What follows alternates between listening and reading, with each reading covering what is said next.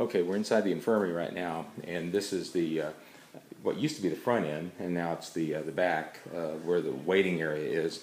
It's pretty quiet right now, uh, not a lot going on. It's Sunday morning. We're getting ready to, uh, uh, get all the campers, here this afternoon. We're going to have a staff meeting a little bit later this afternoon as well. So you're gonna see a lot of people walking, by. As I walk into the back, there's a lot of activity going on here, a lot of voices, uh,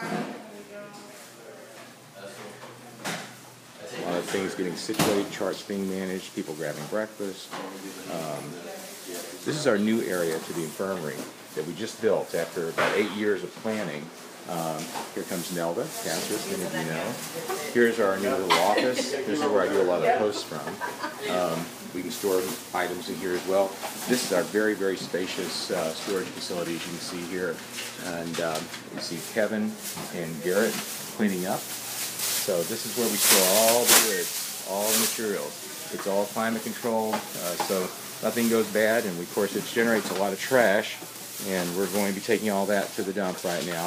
Uh, that refrigerator is what holds all the insulin that we keep uh, uh, to manage the kids' diabetes. So this is a little bit behind the scenes uh, view of what's going on here at Diabetes Camp on Sunday morning um, on the on the eve of the arrival of the campers.